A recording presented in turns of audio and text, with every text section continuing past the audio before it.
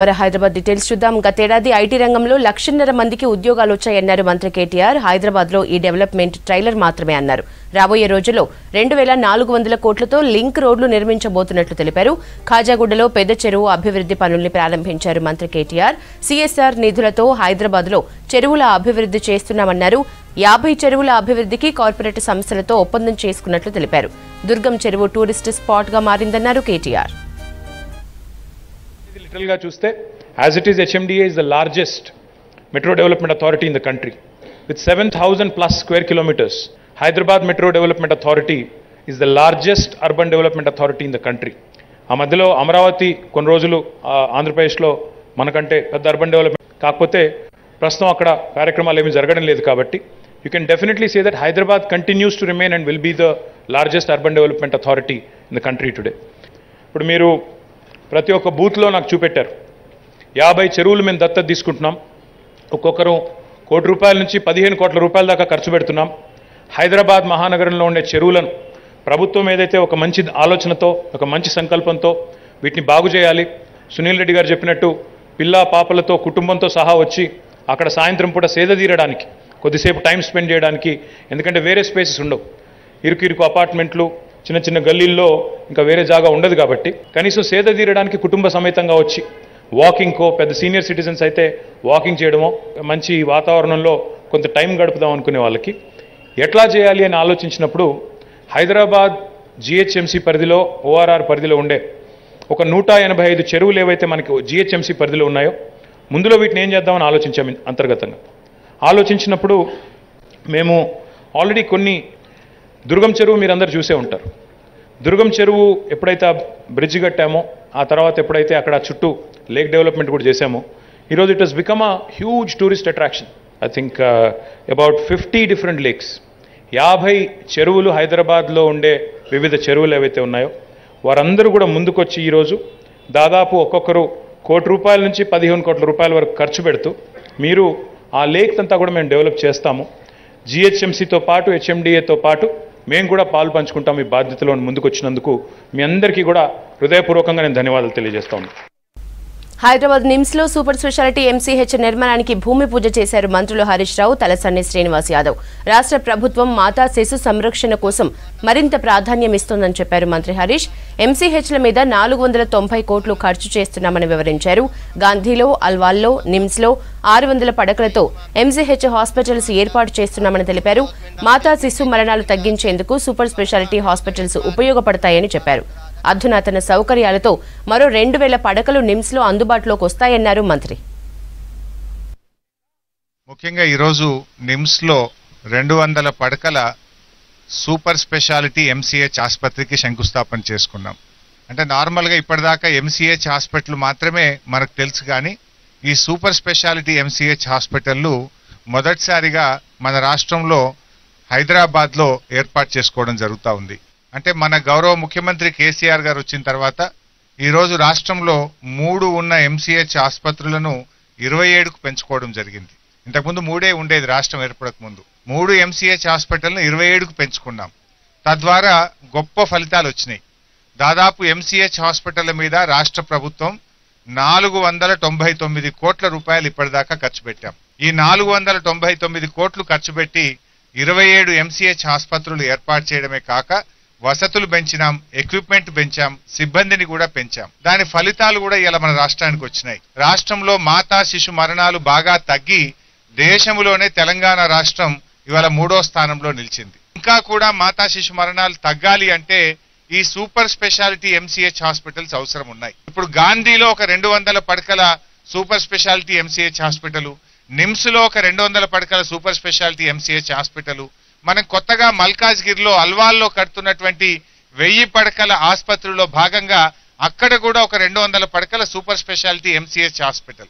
అంటే ఒక ఆరు వందల పడకల సూపర్ స్పెషాలిటీ ఎంసీహెచ్ హాస్పిటల్స్ను హైదరాబాద్ నగరంలో ఏర్పాటు చేస్తున్నాం.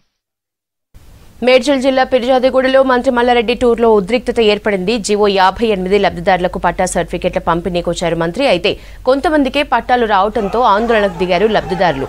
కొంతమందికే పట్టాలిస్తే మా సంగతి ఏంటని మంత్రి మల్లారెడ్డిని నిలదీశారు. ఓ దశలో మంత్రిని చుట్టుముట్టి వాగ్వాదానికి దిగారు లబ్ధిదారులు. కార్యక్రమానికి పిర్జాదిగూడ మేయర్ డిప్యూటీ మేయర్ కార్పొరేటర్లు అటెండ్ అయ్యారు.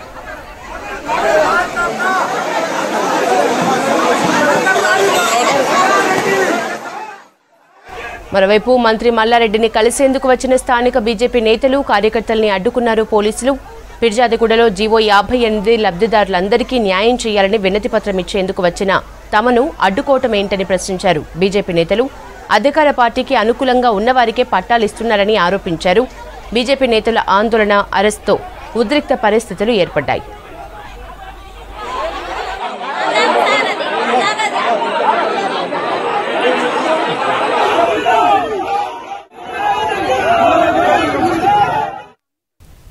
మంత్రి తలసాని శ్రీనివాస్ యాదవ్ ప్రోటోకాల్ పాటించకుండా రాజకీయాలు చేస్తున్నారని ఫైర్ అయ్యారు Monda market BJP corporator Kondam Deepika. తన డివిజన్లో అభివృద్ధి పనుల ప్రారంభానికి శంకుస్థాపనలకి వస్తున్న మంత్రి కనీసం సమాచారం ఇవ్వటం లేదని అసహనం వ్యక్తం చేశారు. అటు అధికారుల తీరుపై కూడా ఆగ్రహం వ్యక్తం చేశారు కార్పొరేటర్ కొంతం దీపిక.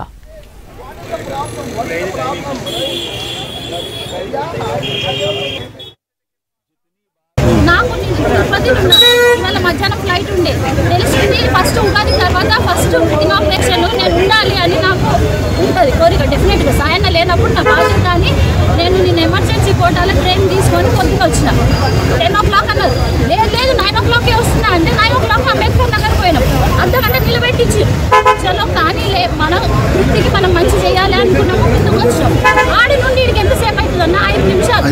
మాకు ట్రావెలింగ్కి ఐదు నిమిషాలు లేట్. మినిట్స్ లేట్ అయింది ట్రాఫిక్లో వాళ్ళలాగా మాకు మనకి సెక్యూరిటీ ఏమన్నా జరుగుతూ వచ్చేస్తాం వాళ్ళ వాళ్ళకు చాలా విషయాలు ఐదు లక్షల వరకు అవసరం పెద్దరికము ఎప్పుడు ఇస్తాము కాకపోతే నిలబెట్టుకోవాలి వాళ్ళు. ప్రోటోకాల్ మెయింటైన్ చేయాలి కదా మినిమం. ఆఫీషియల్స్తో అర్ధగంట మాట్లాడిపోయిండు. రెండు నిమిషాలు ఆగలేకపోయిందా ఏం పిచ్చి రాజకీయాలు? వైఎస్ఆర్టీపీని చూసి సీఎం కేసీఆర్ భయపడుతున్నారన్నారు. ఆ పార్టీ అధ్యక్షురాలు వైఎస్ షర్మిల ప్రజల కోసం పోరాటం చేస్తుంటే అడ్డుకుంటున్నారంటూ ఫైర్ అయ్యారు. ఉస్మానియా హాస్పిటల్కి వెళ్తున్న షర్మిలను పోలీసులు అడ్డుకున్నారు. లోటస్ పాండ్లో ఆమె నివాసం దగ్గర షర్మిలను అడ్డుకున్నారు పోలీసులు. ఉస్మానియా హాస్పిటల్లో రోగులకు సరైన వైద్యం అందటం లేదని షర్మిల ఆరోపించారు. రాష్ట్రంలో రాజ్యాంగం అమలు కావటం లేదన్నారు. రాష్ట్రంలో నియంత పాలన నడుస్తోందన్నారు షర్మిల. ఏ కార్యక్రమాన్ని చేపట్టినా ఆపుతూనే వస్తున్నారని ఆగ్రహం వ్యక్తం చేశారు. ప్రజల పక్షాన నిలబడితే హౌస్ అరెస్టులు చేస్తున్నారని ఫైర్ అయ్యారు వైఎస్ షర్మిల.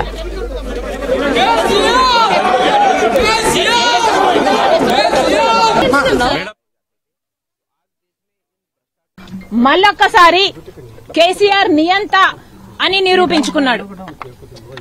వైఎస్ఆర్ తెలంగాణ పార్టీని చూసి రాజశేఖర రెడ్డి బిడ్డను చూసి కేసీఆర్ భయపడుతున్నాడు అని మళ్ళొక్కసారి నిరూపించుకున్నారు.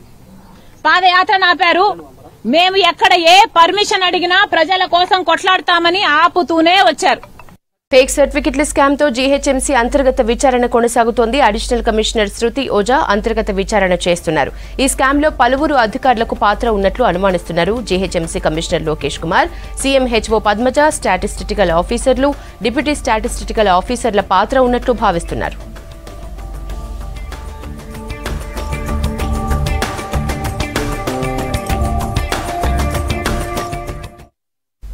రాష్ట్రంలో ఉద్యోగ ఉపాధ్యాయులు జీతాల కోసం ఎదురుచూసే పరిస్థితులు ప్రభుత్వం తీసుకొచ్చిందన్నారు ఉపాధ్యాయ సంఘాల పోరాట కమిటీ నాయకులు.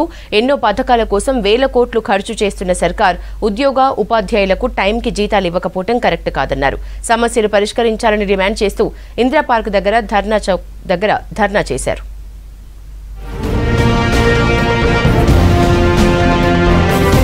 ఉద్యోగ ఉపాధ్యాయులకు అత్యధిక జీతాలు ఇస్తున్నామని పదే పదే చెప్పుకుంటున్న ప్రభుత్వం టైంకు జీతాలు ఎందుకు ఇవ్వడం లేదో చెప్పాలన్నారు ఎమ్మెల్సీ నర్సిరెడ్డి. ఉద్యోగ ఉపాధ్యాయుల సప్లిమెంటరీ వేతనాలు సెలవుల జీతాలు పీఆర్సీ ఇవ్వకపోవడంతోనే టీచర్లు రోడెక్కాల్సిన పరిస్థితి వచ్చిందన్నారు. పీఆర్సీ బకాయిలు సకాలంలో జమ కావట్లేదని మండిపడ్డారు. మూడు రోజులు ఆర్థిక సంవత్సరం ముగుస్తుండటంతో ట్రెజరీలో పాస్ అయిన అన్ని బిల్లులు జమ చేయాలని డిమాండ్ చేశారు నర్సిరెడ్డి.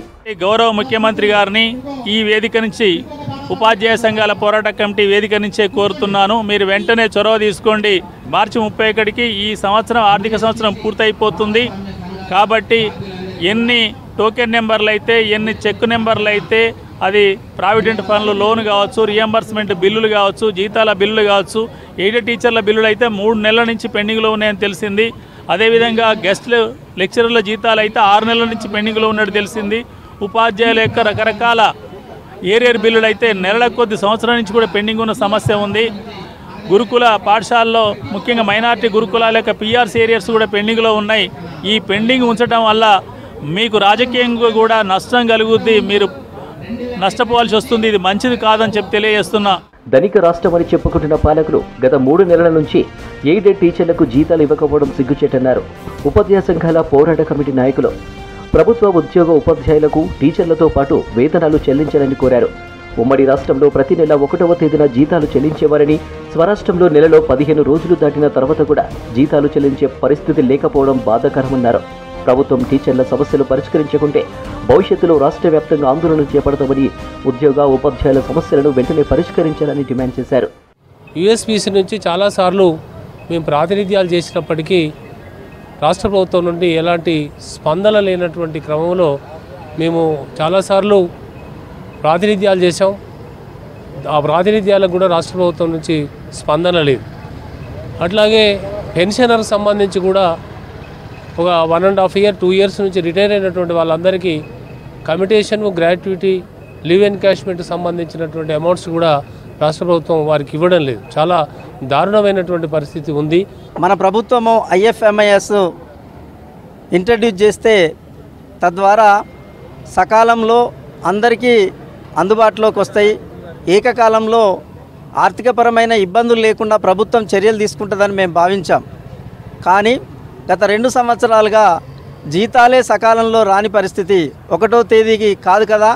పదిహేడవ తారీఖు తారీఖు దాకా ఏ జిల్లా వారికి ఎప్పుడు జీతాలు వస్తున్నాయో తెలియలేనటువంటి పరిస్థితి వచ్చింది. ఈ పెండింగ్లో ఉన్నాయి కూడా దాదాపు పెన్షనర్స్ కూడా రెండు సంవత్సరాలుగా పెండింగ్లో ఉంటున్నాయి. అంటే వాళ్ళ లీవ్ ఎన్కాష్మెంట్ కావచ్చు గ్రాట్యుటీ కావచ్చు ఇవన్నీ వాళ్ళు రెండు సంవత్సరాల నుంచి ఉన్న వాళ్ళు కూడా చాలామంది ఉన్నారు.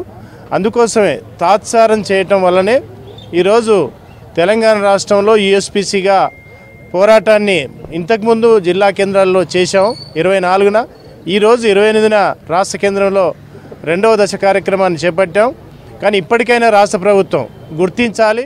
పెద్ద సంఖ్యలో ఉపాధ్యాయులు ఇందిరా పార్కు ధర్నా చౌక్ దగ్గరకు రావడంతో పోలీసులు కట్టుదిట్టమైన భద్రతను ఏర్పాటు చేశారు. దాదాపు ముప్పై ఐదేళ్ళ కిందట వారంతా ఒకే స్కూల్లో చదువుకున్నారు. ఆ తర్వాత ఎక్కడెక్కడో స్థిరపడ్డారు. ప్రస్తుతం కొందరు ప్రభుత్వ ప్రైవేట్ ఉద్యోగాలు మరికొందరు బిజినెస్లు చేసుకుంటున్నారు. వీరంతా నల్లగొండలోని Saint Alphonsus and Nirmala Vidya మందిర్లో పంతొమ్మిది వందల ఎనభై ఏడులో టెన్త్ క్లాస్ని పూర్తి చేసుకున్న విద్యార్థులు. ముప్పై ఐదేళ్ళ తర్వాత హైదరాబాద్లో కలుసుకున్నారు. ఆటపాటలతో సందడి చేశారు. ఆనాటి మధుర స్మృతుల్ని గుర్తు చేసుకున్నారు. సెలబ్రేషన్స్లో యాభై మందికి పైగా పాల్గొని ఎంజాయ్ చేశారు వీళ్ళల్లో చాలా మంది. పంతొమ్మిది వందల ఎనభై ఏడు తర్వాత ఇప్పుడే కలుసుకున్నారు. చాలా ఏళ్ళ తర్వాత చిన్ననాటి మిత్రుల్ని కలు థర్టీ ఫైవ్ ఇయర్స్ తర్వాత ఈరోజు కలుసుకున్నాము. We're very happy to year మాకు చాలా హ్యాపీగా ఉన్నది. దీని గురించి మేము ఒక ఒక ఫోర్ మంత్స్ నుంచి నేను ఒక ఐదుగురం టీం లాగా ఏర్పడి మేము దీన్ని కష్టపడి ఒక ఈ రోజు దీనికి పార్టీ గెట్ టుగెదర్ పార్టీ చేసుకున్నాం. చాలా హ్యాపీగా ఉంది ఆ రోజుల్లో తెలుగు మీడియం స్కూల్స్ మేము చదివి కూడా ఈ రోజు ఒక ఉన్నత స్థాయిలో ఉండి కానీ వాళ్ళ యొక్క సమయాన్ని వెచ్చించి ఈ రోజు మేము అందరం కూడా కలుసుకొని మా యొక్క గెట్ టుగెదర్ పార్టీని జయప్రదం చేసుకున్నామని తెలియజేసుకొని మేము అందరం సంతోషిస్తున్నాం. మేమందరం కూడా వివిధ ప్రొఫెషన్స్లో ఉన్నా కూడా ఈరోజు అందరము కలిసి ఇక్కడ గెట్ టుగెదర్ చేసుకోవడము అందరూ ఇన్ టైంకి వచ్చి అందరి అనుభవాలను ఒకరితో ఒకరు పంచుకోవడము చాలా ఆనందంగా ఉంది. చాలా సంతోషంగా ఉంది. మాకందరికి ఇంకో విశేషం ఏంటంటే మా అందరం యాభై సంవత్సరాల్లో అడిగిడినాము. మేము మా టెన్త్ కంప్లీట్ అయిపోయి థర్టీ ఫైవ్ ఇయర్స్ అయింది. ఈ ఈవెంట్ చాలా బాగా ఆర్గనైజ్ చేసుకున్నాము. చాలా హ్యాపీగా ఉంది. మాలో కొంతమంది అమ్మమ్మలము తాతయ్యలం అయిన వాళ్ళం కూడా ఉన్నాము. నేను రీసెంట్గా నాన్నమ్మనయ్యాను ఇది చాలా హ్యాపీగా ఉంది. మేము చాలా హ్యాపీగా ఎంజాయ్ చేసాము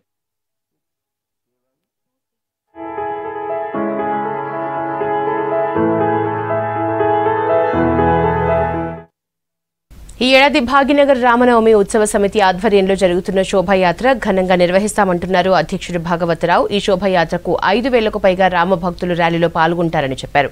ఈ నెల ముప్పైన కళ్యాణం తర్వాత సీతారాంబాగ్ రామాలయం నుంచి కోటి వరకు శోభాయాత్ర జరుగుతుందన్నారు.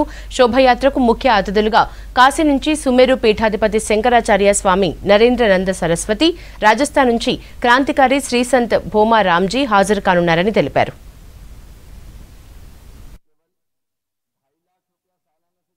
ఈ శోభయాత్ర సీతారాంబాగ్ నుంచి బోయగూడ కమాన్ మంగళహాట పిఎస్ పురాణా పూల్ సిద్దంబరు బజార్ గౌలిగూడ పుత్లిబౌలి కోటి ఆంధ్ర బ్యాంక్ బడిచౌడి మీదుగా హనుమాన్ వ్యాయామశాలకు చేరుతుంది.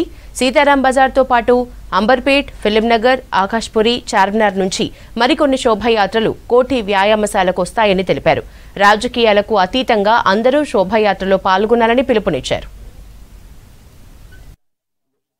కూడా అయోధ్యలో రామ మందిర నిర్మాణం చేస్తున్నారు కనుక వచ్చే శ్రీరామనవమి వరకు అది మందిర నిర్మాణం అవుతున్నది కనుక అందరిలో కూడా చైతన్యం బాగున్నది. ఈ ఉత్సవాల్లో అధిక సంఖ్యలో భక్తులు పాల్గొంటారనేటువంటి విశ్వాసం మాకున్నది. ఈ సీతారాంబాగ్ నుంచి వచ్చేది ఊరేగింపు కాకుండా భాగ్యనగర వాసులను అందరినీ కూడా ఇన్వాల్వ్ చేయాలనే పద్ధతి లోపల ఇంకొక రెండు ఊరేగింపులు అంబర్పేట్ మున్సిపల్ ప్లేగ్రౌండ్ నుండి అంబర్పేట్ మరియు చే నంబర్ రోడ్ మరియు Tilak Nagar fever hospital Barkatpura Kachiguda tourist hotel Kachiguda చౌరస్తా సావర్కర్ స్టాచ్యూ బడి చౌడీ నుంచి హనుమాన వ్యాంశాలకు సుమారు ఐదు వేల పైన రామభక్తులు ఆ ఊరేగింపులో పాల్గొంటారు. ఇంకొక ఊరేగింపు ఫిల్మ్ నగర్ నుండి బయలుదేరి ఫిల్మ్ నగర్ మరియు సివిఆర్ ఛానల్ చౌరస్తా అగ్రసేన్ భగవాన్ చౌరస్తా నుండి బారా నంబర్ రోడ్డు బంజారాహిల్స్ ద్వారా Masab Tank Lakdika Pul Liberty Basheerbagh Abids Bank Street Andhra Bank చౌరస్తా మరియు తిలక్ పార్క్ ద్వారా ఈ హనుమాన వ్యాంశాలకు చేరుకుంటుంది. ఈ యొక్క ఊరేగింపు ఈ సంవత్సరం ముఖ్య అతిథులుగా కాశీ నుండి సుమేరు పీఠాధీశ్వర శంకరాచార్యులు అదేవిధంగా రాజస్థాన్ నుండి భూమా రామ్జీ మహారాజ్ షార్ట్ ఫామ్లో బా అంటారు. వారు యంగ్ సంత్ వారు ఆహారం తీసుకోరు కేవలం మంచినీళ్ళతోటే ఉంటారు. వారి విశేషం ఏంటంటే గతంలో ఈ సంవత్సరంలో ఆవులకు విచిత్రమైనటువంటి వ్యాధి వచ్చినప్పుడు ఆ వ్యాధి తగ్గే వరకు నేను కదులను ఒంటికాల మీదనే ఉంటాననే పద్ధతిలో మూడున్నర నెలలు రాత్రింబగళ్ళు ఒంటికాల మీదనే ఉన్నాడు అసలు. అంత తపోశక్తి కలిగినటువంటి యువ సంత్ దేశభక్తి దైవభక్తి ధార్మిక ప్రబోధం చేస్తారు. వారు కూడా ఈ ఊరేగింపులో పాల్గొంటారు. కనుక ధార్మిక వాతావరణం భజన సంకీర్తనలు ధార్మిక భావన జాగృతం చేయడానికే ఈ శ్రీరామనవమి ఉత్సవాలు మనం జరుపుకుంటున్నాం. రంగారెడ్డి జిల్లా మీర్పేట పోలీస్ స్టేషన్లో శ్రీరామనవమి హనుమాన్ జయంతి శోభయాత్ర నిర్వాహకులతో సమావేశాన్ని ఏర్పాటు చేశారు పోలీసులు. ప్రజలు పోలీసులు పరస్పర సహకారంతో పండుగల్ని శాంతియుత వాతావరణంలో జరుపుకోవాలన్నారు సీఐ మహేందర్ రెడ్డి. మసీద్ కమిటీ సభ్యులకు రంజాన్ మాసంలో తీసుకోవాల్సిన జాగ్రత్తలపై సూచనలు చేశారు. మీర్పేటలో నలభైకి పైగా సీతారామ కళ్యాణాలు జరుగుతున్నట్లు తెలిపారు సీఐ. ఈ మార్చ్ ముప్పై తేదీ శ్రీరామనవమి. అదేవిధంగా ఏప్రిల్ ఆరు హనుమాన్ జయంతి.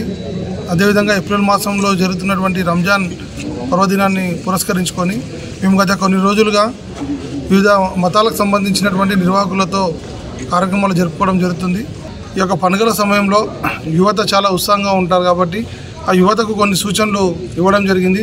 అదేవిధంగా నిర్వాహకులు కూడా అదేవిధంగా కార్యకర్తలు ఏదైతే బజరంగ్ దళ్ కావచ్చు విహెచ్పి కావచ్చు హిందూ సేవా సంఘాలు ఏవైతే ఉన్నాయో వాళ్ళందరూ కూడా కొన్ని సూచనలు మాకు ఇవ్వడం జరిగింది. వాటిని కూడా మేము కొన్ని కన్సిడరేషన్ చేస్తూ పోలీస్ మరియు ప్రజలు కలిస్తేనే ఈ యొక్క పండుగ నిర్వహణ అనేది సక్సెస్ అవుతుందని చెప్పి మా గౌరవ సిపి గారు చెప్పడం జరిగింది. ఆ ఉద్దేశంతో ఈరోజు ఈ యొక్క సమావేశాన్ని ఏర్పాటు చేసుకొని మాకు ముఖ్యంగా ఈ యొక్క కర్మన్గఢ్ హనుమాన్ టెంపుల్ చంద్రగడ్డ నుంచి మెయిన్ ఏదైతే హైదరాబాద్లో జరిగేటటువంటి హనుమాన్ జయంతి ప్రొసెషన్ గౌలిగూడలో కలుస్తుందో ఆ యొక్క నిర్వాహకులు కూడా ఈ యొక్క ప్రోగ్రాంకి రావడం జరిగింది. వారికి కూడా కొన్ని సూచనలు ఇవ్వడం జరిగింది.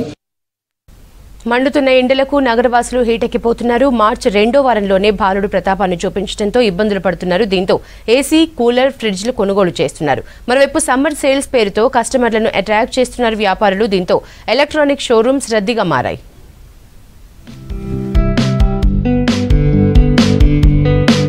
సిటీలో ఎండలు మండిపోతున్నాయి. ఇంట్లో నుంచి బయటికి రావాలంటే జంకుతున్నారు జనం. ఎండ తాపాన్ని తట్టుకోవడానికి ఏసీ కూలర్ ఫ్రిడ్జ్లు కొనుగోలు చేస్తున్నారు. సమ్మర్ సేల్స్ పేరుతో షోరూమ్ నిర్వాహకులు పబ్లిక్ని అట్రాక్ట్ చేస్తున్నారు. ఏసీ అమ్మకాల్లో హైదరాబాద్ కొన్నేళ్ళుగా టాప్లో ఉంది. సమ్మర్ మూడు నెలల సేల్స్ కోసం షోరూమ్ నిర్వాహకులు ఏడాదంతా ఎదురు చూస్తారు గతేడాది సేల్స్ పెద్దగా లేకపోయినా ఈసారి మంచి అమ్మకాలు ఉంటాయంటున్నారు వ్యాపారులు. ఇందులో మన దగ్గర త్రీ సీజన్ సేల్ అని పై ఆఫర్ నడుస్తుందండి. ఇందులో టోటల్ వచ్చేసి thirty lakhs free shopping worth availability ఉంటుంది. దాంతోపాటు అప్ టు ఫోర్టీన్ క్రోర్స్ వరకు పై లాయల్టీ పాయింట్స్ వస్తుంది. Total sixty three thousand customers అనేది విన్ అయ్యే ఛాన్స్ ఉంటుందన్నమాట మన పై ఎలక్ట్రానిక్స్లో సమ్మర్లో చాలా బాగుందండి. అనుకున్న దానికన్నా ఎక్స్పెక్టేషన్ చాలా బాగుందండి. అందులో ఉగాది సేల్ కూడా చాలా బాగా వచ్చిందన్నమాట. న్యూ ఇయర్ ఆఫర్ కాబట్టి కొత్త సంవత్సరం కాబట్టి ప్రతి ఒక్క కస్టమర్ ఏంటంటే ఉత్సాహంగా చాలా బాగా తీసుకున్నారన్నమాట ఏసీస్ కానీ కూలర్స్ కానీ ఫ్రిడ్జెస్ కానీ ఏదైనా. డైలీ వచ్చేసి కనుక మనకి ఆన్ అండ్ యావరేజ్గా ఎయిటీ ఫిఫ్టీ టూ వరకు అట్లా వెళ్తాయండి. మెయిన్ ఇన్వర్టర్ టెక్నాలజీ చూస్తారండి కస్టమర్ ప్లస్ పవర్ కన్జ్యూషన్ తక్కువ అంటే ఇప్పుడు అన్ని ఫైవ్ స్టార్ వచ్చాయన్నమాట. సో ఈ ఫైవ్ స్టార్ రేంజెస్లో చూసి తీసుకుంటున్నారు అనమాట ఇప్పుడున్న అన్ని ఏసీలతో పోలిస్తే త్రీ స్టార్ ఏసీలకు మంచి డిమాండ్ ఉందంటున్నారు వ్యాపారులు. ఎక్కువ మంది కస్టమర్లు త్రీ స్టార్ ఏసీలను కొనడానికి ఎక్కువగా ఇంట్రెస్ట్ చూపిస్తున్నారని చెబుతున్నారు. పెద్ద కంపెనీలు హోటల్స్ లాంటి కమర్షియల్ ప్లేస్లో ఫైవ్ స్టార్ టూ స్టార్ ఏసీలను కొనుగోలు చేస్తున్నారన్నారు. పర్యావరణంపై అవగాహన ఉన్నవారు రేట్ ఎక్కువగా ఉన్నా గ్రీన్ ఏసీలను లైక్ చేస్తున్నారన్నారు. రేట్స్ కూడా గత రెండేళ్ళ కిందటిలాగే ఉన్నాయంటున్నారు. మెయిన్ మనకి సమ్మర్లో కూల్గా కూల్నెస్ లేకపోతే ఉండలేము ఏసీ ఫ్రిడ్జ్ అండ్ ఆల్ మనకి చాలా ఇంపార్టెంట్ సో ఇక్కడ ఫ్రిడ్జెస్ అవన్నీ ఎలా ఉంటాయో చూద్దామని వచ్చాము. ఇది మాకు చాలా బాగా నచ్చింది. ఇక్కడ ఈ స్టోరేజ్ కానీ అది చాలా బాగుంది. అండ్ ఇక్కడ ప్రైజెస్ కూడా మెయిన్ చాలా రీజనబుల్గా ఉన్నాయి. లైక్ మేము will go with company only and తర్వాత డిజైన్ మా స్టోరేజ్ ఫ్రిడ్జ్లు కూలర్లకు కూడా మంచి సేల్స్ ఉన్నాయి. ఎక్కువ బడ్జెట్ పెట్టలేని వారు బేసిక్ లెవెల్లోనే ప్రిఫర్ చేస్తున్నారు. ఇంట్లోకి కావలసిన సమ్మర్ నీడ్స్ని ఒకేసారి కొనుగోలు చేస్తున్నారు. ధరలు కూడా పెద్దగా లేవని చెబుతున్నారు పబ్లిక్. సేల్స్ ఎక్కువగా ఉండడంతో ఆఫర్స్ కూడా ఇస్తున్నారు షోరూమ్ నిర్వాహకులు. ఇంటికి వెళ్ళిన వెంటనే ఈ వేడికి ఏంటికి తట్టుకోలేక ఏసీ తీసుకుందామని వచ్చాము. ఇక్కడ ఏంటంటే పైలో వచ్చేసరికి మంచి మంచి ఆఫర్స్ ఇస్తున్నారు. నేను ఇప్పటికీ పై షోరూంలో వచ్చేసి దగ్గర దగ్గర ఒక టెన్ ప్రోడక్ట్స్ వరకు తీసుకున్నాను. ఇప్పుడు కూడా ఏసీ బెస్ట్ ఆఫర్లో వస్తుందని ఏసీ తీసుకుందామని వచ్చాను. అన్ని షోరూమ్స్ కంపేర్ చేసుకున్నాను. అన్ని షోరూమ్లు కంపేర్ చేసుకొని ఇక్కడ పైలోకి వచ్చేసరికి బెస్ట్ ఆఫర్ ఉందండి అని అంటే బెస్ట్ ఆఫర్ తీసుకోవడానికి వచ్చాను. ఆన్లైన్లో కూడా వీటి సేల్స్ జోరుగా సాగుతున్నాయి. చాలా వరకు అందరూ అడ్వాన్స్ లెవెల్లోనే మోడల్స్ను సెలెక్ట్ చేసుకుంటున్నారు.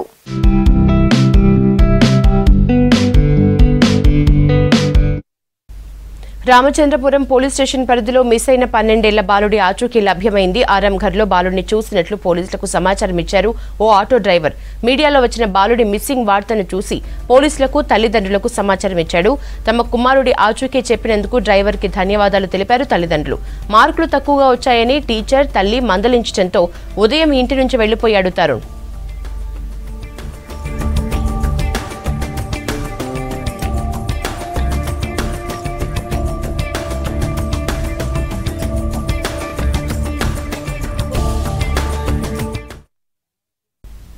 చంద్రబోస్ విశ్వ వేదికపై తెలంగాణ సత్తాను చాటి చెప్పారన్నారు మంత్రి శ్రీనివాస్ గౌడ్. ఆర్ఆర్ఆర్ చిత్ర బృందాన్ని సన్మానించనున్నట్లు తెలిపారు. రవీంద్ర భారతిలో తెలుగు సాహితీ అకాడమీ ఏర్పాటు చేసిన సన్మాన కార్యక్రమంలో పాల్గొన్నారు మంత్రి శ్రీనివాస్ గౌడ్ చంద్రబోస్ పలువురు దర్శకులు నిర్మాతలు సాహితీ ప్రియులు చంద్రబోస్ను సన్మానించారు. మంచి పాట రాసిన ప్రతిసారి రాష్ట్ర జాతీయ స్థాయి అవార్డు కోసం ఎంతో నిరీక్షించి నిరాశ చెందారన్నారు చంద్రబోస్. కానీ దేవుడు అంతర్జాతీయ అవార్డు అంటూ ఆస్కార్ అందించాడని భావోద్వేగానికి లోనయ్యారు.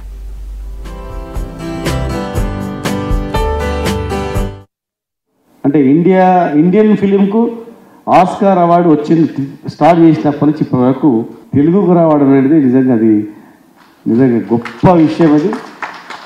దానికి మూలస్తంభము. అంటే పాటనే రాయకపోతే ఆస్కారం అవార్డు అవకాశం ఉంది స్టార్ట్ చేసింది పాట. పాట నుంచి సంగీతం సంగీతం నుంచి నాట్యం. ఫస్ట్ స్టేజ్ వీళ్ళది సెకండ్ సంగీతం కీరవాణి మూడవది ఇద్దరు మహానటులు. గొప్ప నటులు వాళ్ళిద్దరు నటించినందుకు ముగ్గురు మూడు కలయికతోనే ఈరోజు అవార్డు రావడం అనేది.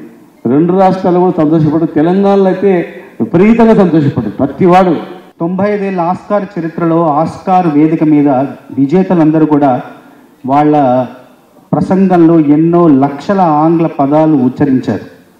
మొట్టమొదటిసారిగా తొంభై ఐదేళ్ళ ఆస్కార్ చరిత్రలో ఆ వేదిక మీద మారు మ్రోగిన తొట్ట తొలి తెలుగు పదం నమస్తే. అట్లాగే ఆ వేదిక మీద ఎన్నో పాటలు ప్రదర్శితమయ్యాయి. అలా ప్రదర్శితమైన పాటల్లో మన తెలుగు పాటలో ప్రదర్శితమైన మన తెలుగు పాటలోని మొదటి మాట పొలం పొలం అనేది మన జీవన విధానం నమస్తే అనేది మన జీవన సంస్కారం. ఈ రెండింటిని ప్రపంచానికి చాట చెప్పే సందర్భంగా సంఘటనగా ఆ వేదిక నాకు లభించడం కవిగా నేను గర్వించే క్షణాలు అంతే. జాతీయ అవార్డు కోసం చాలాసార్లు ఎదురు చూశాను కానీ ఎప్పుడు రాలేదు. అలా కురింగిపోకుండా మంచి మంచి పాటలు రాసిన సమయంలో భగవంతుడు నా పైన కరుణించి జాతీయ స్థాయి పురస్కారం కాదు నీకు అంతర్జాతీయ పురస్కారం ఇస్తాను నాలుగు అంతర్జాతీయ పురస్కారాలు ఇచ్చారు. ఇవి Hamara Hyderabad updates. State to V six news as it is.